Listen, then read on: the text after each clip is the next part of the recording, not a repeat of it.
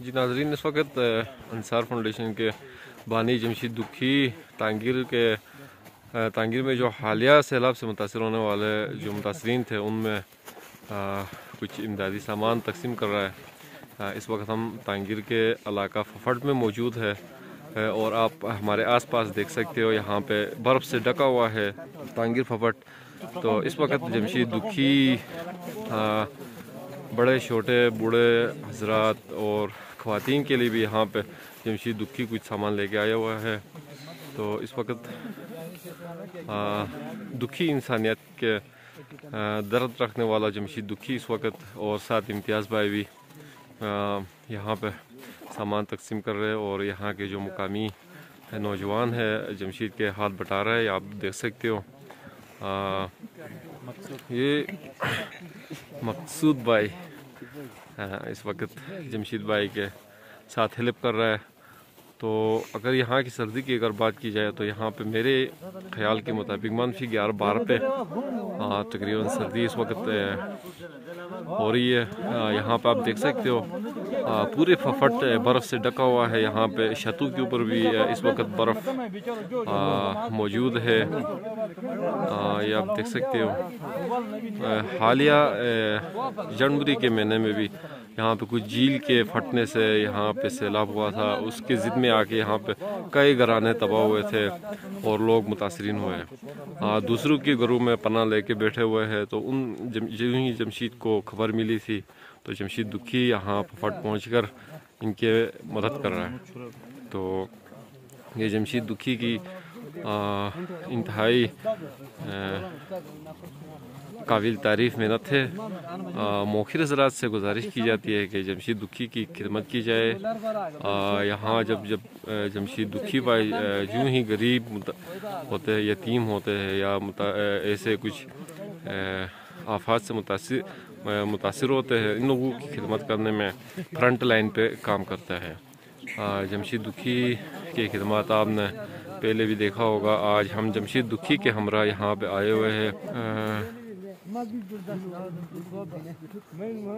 تنگیر کے جوان بھی یہاں پہ موجود ہے جمشید دکھی کی خدمات سے تنگیر کے لوگ انتہائی خوش ہے جمشید دکھی بھائی ففٹ پہ موجود ہے۔ اگر امتیاز بھائی کو سردی لگی، میرے خیال میں ہاتھ بن رہا ہے۔ تو جمشید دکھی بھائی یہاں سے بھی تو سیلاب سے جو متاثر ہوئے تھے، ان لوگوں میں گرم ملبوسات تقسیم کر رہے ہیں۔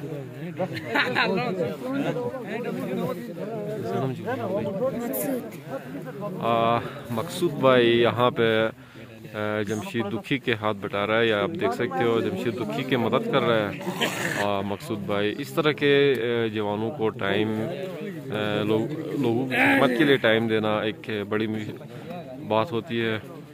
تو خوشی ہے یہاں کے جو متاثر متاثر متاثرین ہے سیلاب متاثرین وہ انتہائی جمشید دکھی کے جو سامان تقسیم ہے ان کی ان سے انتہائی خوش ہے یا آپ دیکھ سکتے ہو ان کی چہرے پہ مسکراہٹ ہے تو میں کوشش کروں گا یہاں پہ کچھ جو سیلاب متاثرین ان سے بات کرنے کی سیلاب متاثرین جو کرتے بات امداد کیا شکر گزار ادا تھا اسے مہمان را سنو اسے خبر گدری گیوں۔ اسے کرتا سامان مامان معصوم گراٹو تو توفیق مطابق۔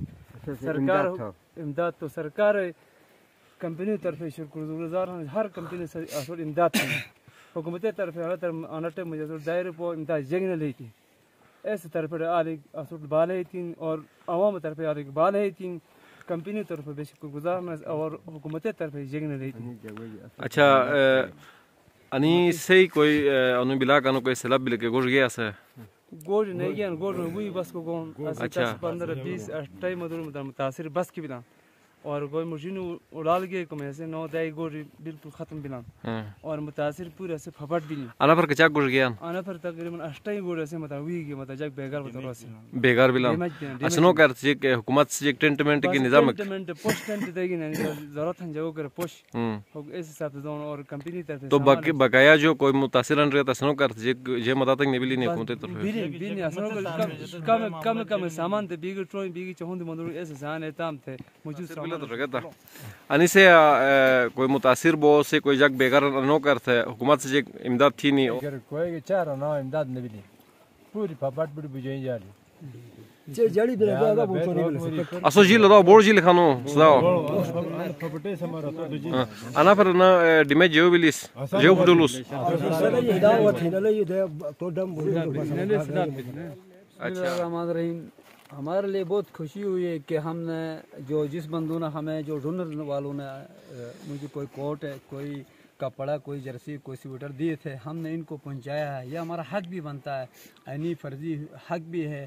اور انسانی حق بھی ہے کہ ان کے یہ بار بار یہ پھپٹ میں دو دوسری دفعہ تیسری دفعہ یہ سیلاب آیا، یہ بہت ان کے ستارہ، اٹھارہ گھر ڈیمیج ہوئے تو ان کے لیے میں نے جو چیز تھے، جس بندوں نے مجھے دیا تھا، میں نے ان کو پہنچایا ہے۔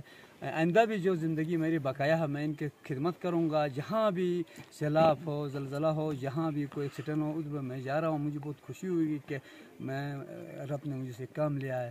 تو آپ کی بڑی مہربانی ہوگی۔ جی ناظرین، تو یہاں کے جو مقامی لوگ ہیں، ان کے خیالات آپ نے سن لیا۔ باقی رہی بات اگر یہاں پہ جو جھیل جو بنا ہوا ہے، اس جھیل کی اگر بات کی جائے تو یہاں کی مقامی جو لوگوں کا کہنا ہے کہ سات آٹھ دفعہ بلکہ دس دفعہ یہاں پہ یہی جھیل کی وجہ سے یہاں پہ سیلاب آیا تھا اور یہاں کے جو گھرانے ہیں، تقریباً چار پانچ سو گھرانے ہیں، یہ ہمیشہ یوں ہی سیلاب ہوتا ہے، یہاں پہ گھرانے متاثر ہوتے ہیں۔ تو حکومت وقت سے یہ، یہاں کے جو لوگ ہیں، یہ اپیل کرتے ہیں کہ جو جھیل ہے اس پر وہاں پہ جو سیفٹی بند بنایا جائے اور جو جھیل سے جو پانی آتا ہے، اس اس کے لیے یہاں سے کوئی نالا بنانا چاہے۔ جب جھیل ٹوٹتا ہے تو وہی نالا سے آگے پانی جو دریا کا رخ کر سکے، یہاں کے جو مقامی جو لوگ ہیں، ان کی کچھ زمینوں کو نقصان نہ پہنچایا جائے۔ تو اس حوالے سے یہاں کے امتیاز بھائی بھی آیا ہوا ہے۔ امتیاز بھائی نے بھی ان کی باتیں سنا۔ ہے امتیاز بھائی، کیا کہنا چاہو گے آپ؟ جو لوگوں کی باتیں آپ نے بھی سنا ہے۔ شکریہ سلیم بھائی جمشید دکھی صاحب کے ذہن گردی ہم یہاں پہنچے ہیں۔ ان لوگوں کی ہمارے پاس دینے کے لیے کچھ نہیں تھا، لیکن ان کے، ان کی داد رسی کے لیے ہم یہاں پہنچے ہیں۔ اور ان لوگوں کو ہم نے سنا ہے، یقیناً یہ پھپٹ ایریا میں آبادی میں تقریباً چار سو گھرانے آباد ہے یہاں کے لوگ۔ اور علاقہ مکین سے ہم نے زبانی سنا اور بڑی عمر کے لوگوں سے اس طرح یہ جو جھیل سر ٹاپ پہ جھیل جھیل ہے، قدرتی جھیل ہے، یہ کسی آرٹیفیشل جھیل نہیں ہے اور یہاں اس جھیل کی وجہ سے دس دفعہ اس آبادی پہ نقصان پہنچا ہے۔ تو یہی لوگ بھی مطالبہ کر رہے ہیں اور ہم مقتدر اداروں سے یہی ریکویسٹ کریں گے کہ اس جھیل کی پروٹیکشن کے لیے کوئی بندوبست بند بنایا جائے اور ساتھ ہی ایکسیویٹر کا ان لوگوں نے پہلے بھی مطالبہ کیا ہوا ہے۔ اور ابھی بھی یہ مطالبہ کر رہے ہیں، لیکن حکومت سننے کو تیار نہیں ہے۔ حکومت سے ہم ہم بھی ریکویسٹ کرتے ہیں کہ حکومت کی ذمہ داری ہے کہ اپنے شہروں کی پروٹیکشن کرے۔ اور جس طرح سے بھی ہوتی ہے، ان لوگوں کی مدد کرے۔ اور ان لوگوں کی اسپیشلی یہ گزارش ہے کہ ایک سویٹر لایا جائے اور یہاں کوئی ان کے نالا کھود کے وہاں کی ان کے لیے پروٹیکشن وال لگا کر پانی کی نکاسی کا اخراج کے لیے کوئی بندوبست کیا جائے۔